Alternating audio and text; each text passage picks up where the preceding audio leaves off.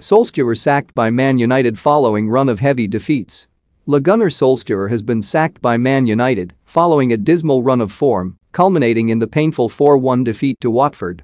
The club have stood by the 48-year-old in recent weeks, despite pressure mounting to make the managerial change.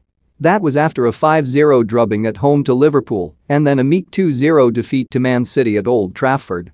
Solskjaer kept his job over the international break and ahead of the Watford match spoke of how united the club were behind the scenes.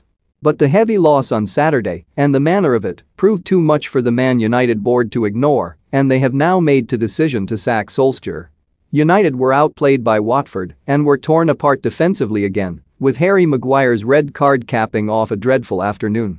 Solskjaer went over to the United fans after the match and apologized, though Bruno Fernandes urged supporters to direct their anger at the players rather than the manager.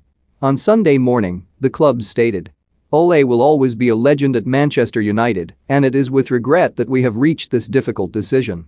While the past few weeks have been disappointing, they should not obscure all the work he has done over the past three years to rebuild the foundations for long-term success.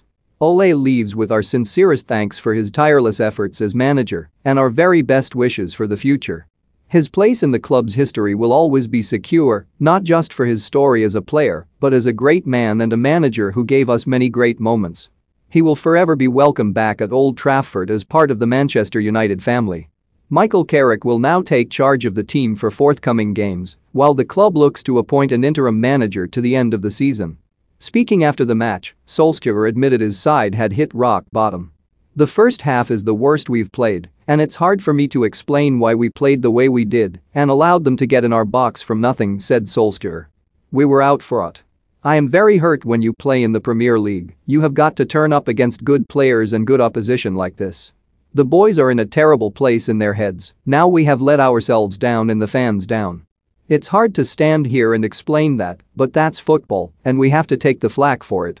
It remains to be seen who they appoint as their next boss, with likely target Antonio Conte off the market after Tottenham swooped to appoint him. Zinedine Zidane is likely to be linked in the coming days, as is Leicester boss Brendan Rodgers. Solskjaer joined United as caretaker manager in December 2018, following the sacking of Jose Mourinho, but was expected to only stay in the role until the end of the season. However, he oversaw a change in fortunes and a change in mood at the club and signed a three-year contract after winning 14 of his first 19 matches, including a famous win away to PSG in the Champions League. The Norwegian led the club to third in the Premier League in the following season, as well as reaching the semi-finals of all three cup competitions. Last season, United finished second in the league and reached the final of the Europa League, where they lost to Villarreal on penalties.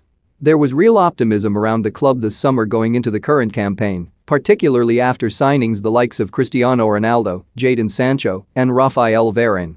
Indeed, it was only last month that the club's 29-match unbeaten run